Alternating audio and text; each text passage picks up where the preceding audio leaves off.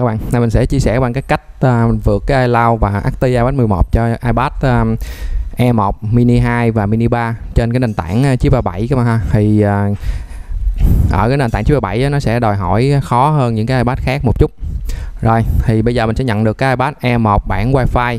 Nó bị cái lỗi là dính iCloud. Khách quên password.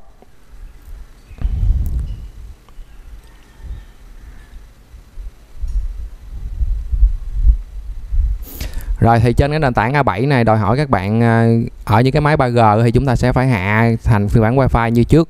Còn ở những cái máy Wi-Fi các bạn sẽ phải đục ổ cứng ra. Ngày xưa thì chúng ta chỉ việc đổi series đã ti được đúng không? Nhưng mà bây giờ thì các bạn sẽ phải mua một cái số series đặc biệt để ti được cho cái nền tảng A7.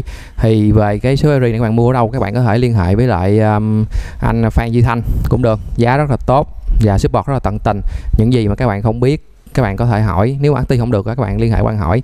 Nhưng mình lúc đầu mình đâu biết làm đâu thì mình khi mà mình hỏi mình mua series á, thì anh Thanh anh cũng ờ, chỉ cho mình cái cách để mà ti cái iPad E1 này các bạn ha. Nó không có giống như những cái iPad um, Pro hay iPad E2 ngày trước. Rồi.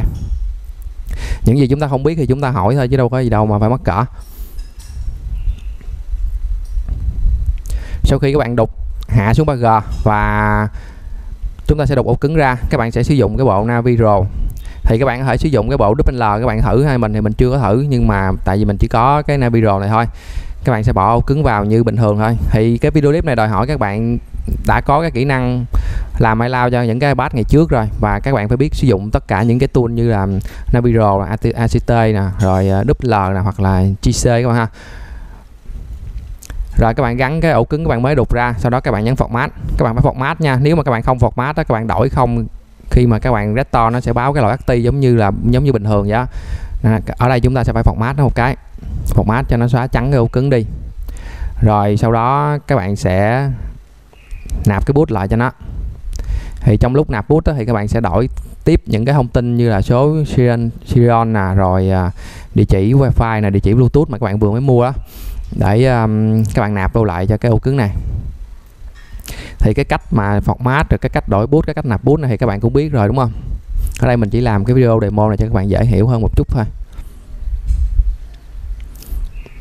Rồi thì cái số Xeon này thì mình đã cài cái iCloud um, cho nó rồi nên các bạn đừng có lấy chi mất công ha mất công các bạn thôi thì các bạn có thể một là các bạn có thể nhân bản cái số John này ra tùy theo cái cách mà các bạn làm đối với những người khách hàng các bạn thương lượng với khách hàng ở cái khu vực các bạn sống thôi còn không thì các bạn có thể mỗi cái iPad các bạn sử dụng một số John khác nhau và các bạn cài la của khách vào thì nó sẽ không có rắc rối về sau sau khi mà các bạn đổi rồi thì các bạn nên rít lại một cái để xem xem nó đổi đúng hay không nha tại vì naviro này đôi khi chúng ta đổi rồi đó nhưng mà khi chúng ta rít lại cái thông số nó sẽ khác nó sẽ trở về ban đầu á rồi thì đổi ok rít lại chép thông tin chính xác thì các bạn chỉ việc đóng ô cứng vào, lại cái main và restore restore xong các bạn sẽ tiến hành active bình thường thôi.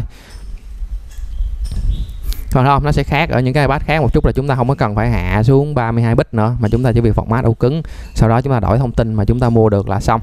Rồi, các bạn thấy dễ không? Như vậy thì mình sẽ tạm dừng cái video này các bạn ha. cảm ơn các bạn đã theo dõi cái video này. Chào các bạn, chúc các bạn thành công. Các bạn muốn mua Sira nó các bạn có thể liên hệ với ờ, anh Phan Duy Thanh, số điện thoại là 0939 373 808 mình S ở trên clip đó ha.